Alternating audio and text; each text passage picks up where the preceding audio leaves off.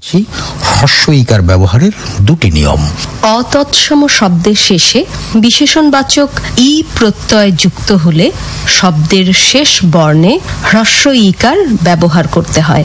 যেমন, আবগারি, গোলাপি, তামাদি, পুলিশি, গোলামি, মেহনতি, আসমানি, দখলি, নকশি, জঙ্গি, পোশাকি, কায়েমি, দরকারি, নিলামি ফেরারি বেগুনি, রেশমি, কেতাবি, জরুরি, দরদি, পশমি, ফৌজদারি, খেয়ালি, জমিদারি, বনেদি, দরবারি, পশ্চিমি, মরমি, শহীদি, গরিবি, জেদি, দামি, পাহাড়ি, বিলাতি, মেয়াদি, হিসেবি, বেআইনি ইত্যাদি।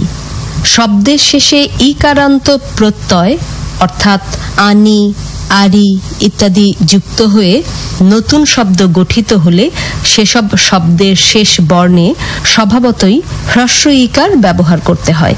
যেমন, আনি প্রত্যয় যুক্ত হয়ে উড়ানি, ঝাঁকানি, চালানি, ভাঙানি, লাগানি ইত্যাদি। আরি প্রত্যয় যুক্ত হয়ে কাটারি, ভিখারি, মাঝারি রকমারি ইত্যাদি। উড়ি প্রত্যয় যুক্ত হয়ে ডুবুরি, ধুনুরি ইত্যাদি। উনি বা নি প্রত্যয় যুক্ত হয়ে আঁটুনি, কাঁদুনি, কাঁপুনি, খিঁচুনি, গাঁথুনি ছাঁকুনি জলুনি ঝাঁকুনি, নাচুনি, রাঁধুনি ইত্যাদি। তি প্রত্যয় যুক্ত হয়ে উঠতি, কমতি, ঘাটতি, চাকতি, পড়তি ইত্যাদি। আলি প্রত্যয় যুক্ত হয়ে মেয়েলি, পুরুষালী, প্রণালী, ঘটকালি, চতুরালি, পুবালি, মিতালি, রূপালী, সোনালি, স্বর্ণালী, বর্ণালী ইত্যাদি। আমি বা মি প্রত্যয় যুক্ত হয়ে ইত্রামি, কুঁড়েমি, খ্যাপামি, গোঁড়ামি, ছ্যাবলামি, জ্যাঠামি, ন্যাকামি, ধূর্তামি, পাকামি, পাগলামি, বুড়োমি বাঁদরামি ভণ্ডামি ভাঁড়ামি ইত্যাদি। প্রত্যয় কাকে বলে? ধাতু বা শব্দের সঙ্গে যা যোগ করে অন্য ধাতু বা শব্দ গঠিত হয় তাদের বলা হয় প্রত্যয়। ধাতুর সঙ্গে যা যোগ হয় তা হলো কৃত প্রত্যয় বা ধাতু প্রত্যয় আর শব্দের সঙ্গে যা যোগ হয় তাকে বলা হয় শব্দ প্রত্যয় বা তদ্ধিত প্রত্যয়। যেমন বলো, এটি একটি ধাতু। এই ধাতুর সঙ্গে আ প্রত্যয় যুক্ত হয়ে শব্দটি গঠিত হলো বলা। আবার ক্রি ধাতুর সঙ্গে তব্যকৃত প্রত্যয় যুক্ত হয়ে গঠিত হলো নতুন শব্দ কর্তব্য। মম একটি শব্দ, এর সঙ্গে তদ্ধিত প্রত্যয় তা যুক্ত হয়ে নতুন শব্দ তৈরি হলো মমতা। বাঁদর শব্দের সঙ্গে আমি শব্দ প্রত্যয় যুক্ত হয়ে নতুন শব্দ তৈরি হলো বাঁদরামি।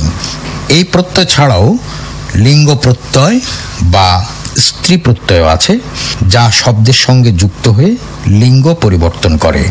যেমন, শিষ্য যোগ আ শিষ্যা, ছাত্র যোগ দীর্ঘই ছাত্রী। এখানে এই শিষ্যা এবং ছাত্রীতে যে আ এবং দীর্ঘই প্রত্যয় যুক্ত হলো, এগুলোকে বলে লিঙ্গ প্রত্যয়। আমরা যে বাংলা ভাষায় লিখি এবং কথা বলি, এই বাংলা ভাষায় নানা রকমের প্রত্যয় আছে। সেখানে সংস্কৃত প্রত্যয় আছে, বাংলা প্রত্যয় তো আছেই বিদেশি প্রত্যয় আছে। তাহলে আমার মনে হচ্ছে যে প্রত্যয় কাকে বলে এই বিষয়ে নিশ্চয়ই তোমার সংশয় দূর হয়েছে। দরিদ্র লিখতে জ ফলা লাগে না কিন্তু দারিদ্র লিখতে জ ফলা লাগে কেন? এখানে আমাদের জানায় কিছুটা সীমাবদ্ধতা আছে। দারিদ্র লিখতে যে জ ফলা লাগবেই এমন কোনো কথা নেই। ব্যাকরণের নিয়ম অনুযায়ী জ ফলা যুক্ত দারিদ্র এবং জ ফলা মুক্ত দারিদ্র দুটোই শুদ্ধ। যে নিয়মে আমরা গান্ধর্ব গার্হস্থ চারিত্র ইত্যাদি বানানে জ ফলা ব্যবহার করি না, সেই একই নিয়মে দারিদ্র লিখতে গিয়েও যদি জ ফলা না দিই, তবে বানান অশুদ্ধ হবে না। তবে বাংলা ভাষার অভিধানগুলোতে প্রথম ভুক্তি হিসেবে জ ফলাযুক্ত দারিদ্র অন্তর্ভুক্ত, আর দ্বিতীয় ভুক্তিতে আছে জ ফলা মুক্ত দারিদ্র।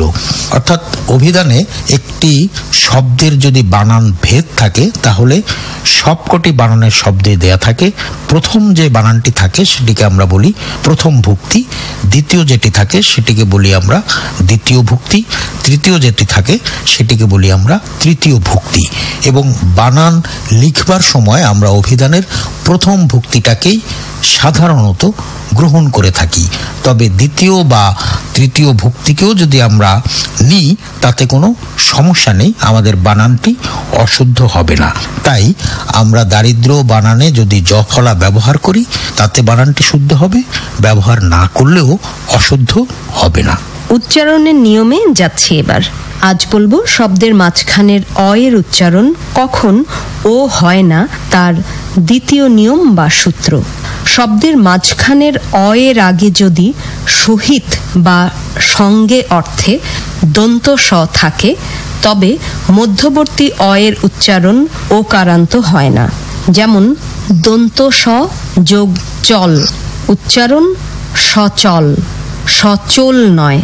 দন্ত স যোগ ফল, উচ্চারণ সফল সফল নয়। দন্ত স যোগ বল, উচ্চারণ সবল সবল নয়।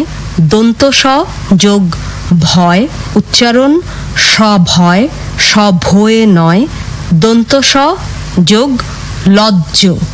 উচ্চারণ সলজ্জ সলজ্জ নয়, ইত্যাদি। প্রিয় শ্রোতা, আজ এ পর্যন্তই।